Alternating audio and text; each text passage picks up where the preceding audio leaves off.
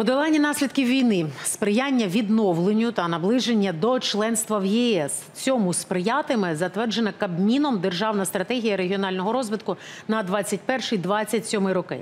За нею мають зокрема створити умови для повернення українців додому та відновити і розбудувати інфраструктуру. Більше про те, чого зараз потребують регіони, говоримо далі з Віталієм Безгіном, заступником голови комітету Верховної Ради України з питань організації державної влади, місцевого самоврядування, регіонального розвитку та містобудування. Пане Віталію, до вас питання. І тут реально хочеться почути конкретику. Ми знаємо на загал, чого потребують регіони. Але у кожного регіону є все одно своя специфіка. Бодай кілька прикладів дайте ем, тих питань і тих проблем, які будуть підніматися, зокрема, на регіональному конгресі незабаром. Та добрий ранок. Е, Вітаю. Дійсно, тут і конгрес, і згадана вами стратегія. Вона передбачає різні підходи для різних типів територій. І ми розуміємо, що одновий е, ключовий критерій в цьому це безпека, е, це віддаленість від лінії зіткнення від кордону з державою агресором Російської Федерації. Що стосується загальної тематики, якої торкнеться найближче засідання конгресу, безумовно, це будуть речі, які то стосуються всіх регіонів, але іноді через різну призму. Там, де проблематика однакова, наведу два приклади. Наприклад, енергетика та підготовка до опалювального сезону. Ми розуміємо, що ворог е, знищує нашу енергетику в принципі по всій території України. Така сама спільна проблема це, наприклад, доступність, доступність та інклюзія в наших містах для наших ветеранів.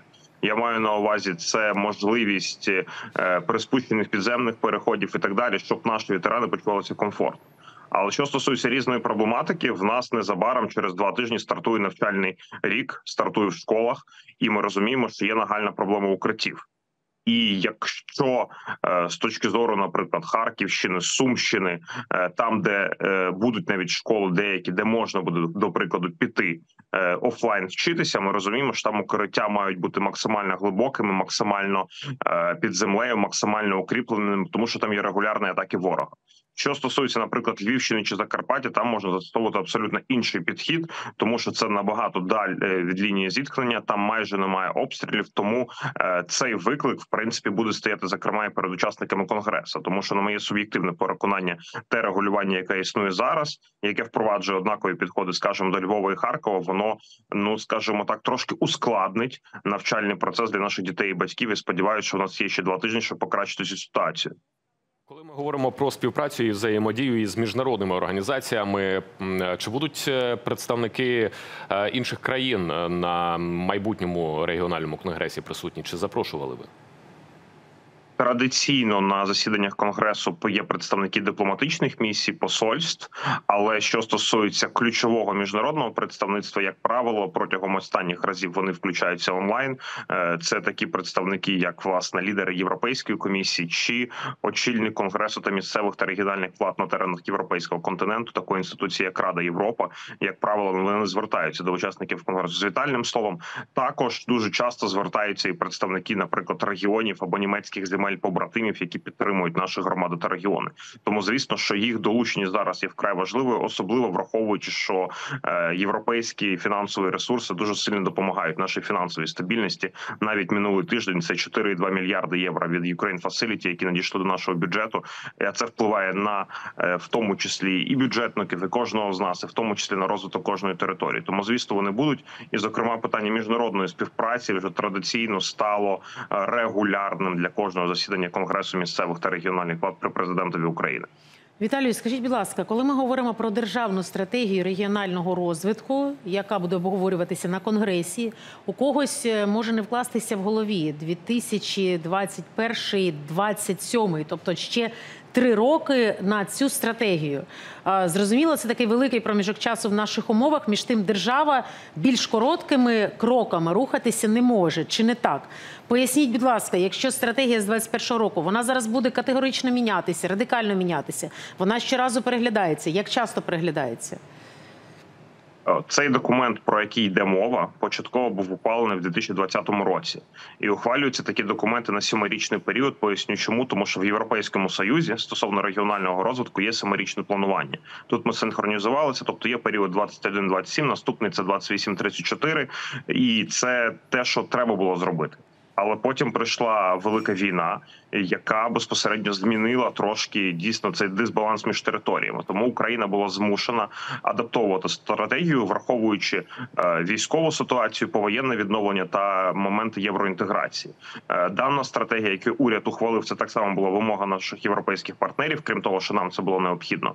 Але восени цей документ ще отримує е, окремі додатки, які такі окреслять. Різні підходи до розвитку різного типу територій. Поясню про що мову. Ми розуміємо, що при фронтових територіях, територіях прикордонних з РФ е, буде окремий перелік окремих задач.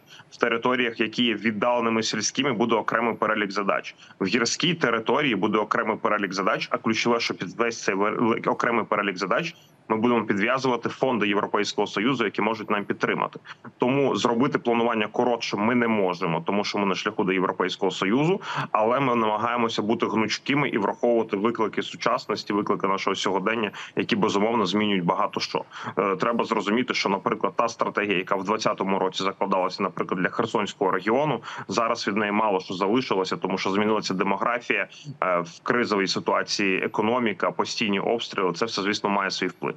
Скажіть, будь ласка, в е, самій стратегії е, є 10 пріоритетів регіонального розвитку. Та е, пане Віталію, от цікаво, що один із пріоритетів він стосується розвитку людського капіталу, враховуючи ті виклики, які сьогодні Україна має.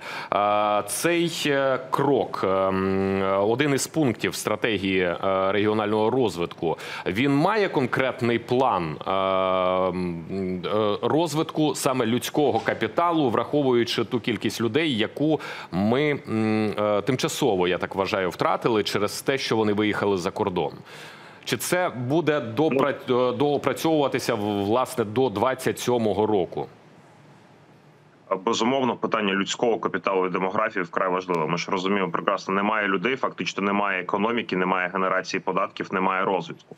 Але тут ми розуміємо, що ці плани окремі вони стосуються кількох аспектів. Один стосується безпосередньо повернення українців з-за кордону. Ми розуміємо, що велика кількість з них все одно повернеться по завершенню повномасштабної війни. Але звісно, що з іншими нашими українцями, е, де їх багато в таких країнах, як Німеччина та Польща, треба працювати. Інший підхід стосується територій, які знелюднилися, і це, наприклад, виклик півночі Чернігівщини, та що прикордонно з Росією та Білоруссю. Там є без знелюднення прикордонної зони, і для цього будуть застосовуватися абсолютно інші підходи по управлінню економікою та управління територією. Я не буду розкривати деталі зі зрозумілих причин, але з застосуванням військового елементу. Дякуємо, що долучилися до нашого ефіру. Відповіли на наші запитання. Вам вдалого дня. Успішного Віталій Безгін, заступник голови комітету Верховної Ради із питань організації державної влади, місцевого самоврядування, регіонального розвитку та містобудування, був з нами наживо.